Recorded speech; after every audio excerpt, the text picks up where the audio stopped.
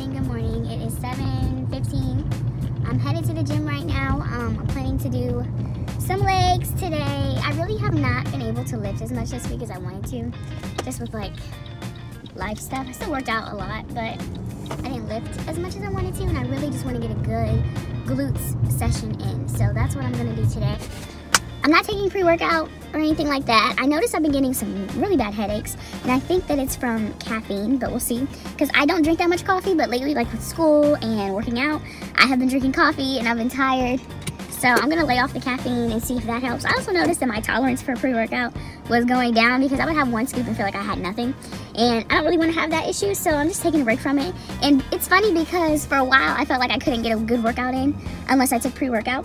But lately I haven't even really been taking it, like not before my group fitness classes or anything like that. And I've been having great workouts. I've been having great endurance. So I think I'm gonna do this for a while where I just lay off the lay off the pre-workout and just rely on the food that I've had.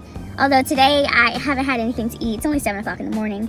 But yesterday I did have some more carbs than what I was planning to. So me and my sister saw this like dessert thing that we had when we were younger. And so we made that last night and I had some of that.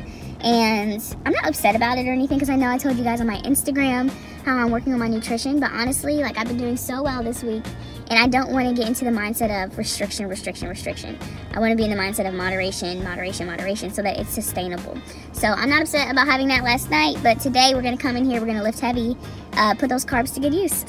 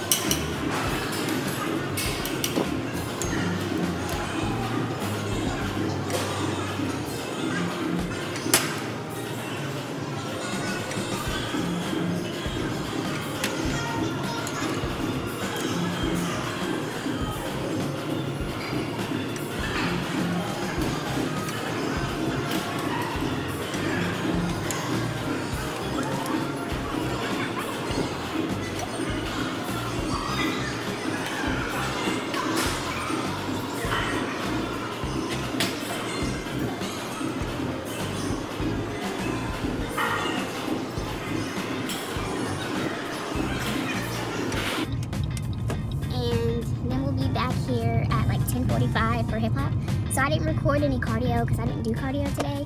But normally after a leg day or before a leg day, depends on what my goals are for that week. I will do my cardio. Lately, I've been trying to push myself to do the Stairmaster more often. So the other day I did 30 minutes. And if I wasn't going to hip hop today, then I would have done 30 minutes on the Stairmaster to finish out my leg day. But since I'm going to hip hop, I just skipped that. And then I didn't even stretch because the gym was packed right now because all the group fitness classes are going on and there's group training and stuff. And there's just nowhere to stretch. So I'm going to stretch when I get home. So I'll get breakfast ready.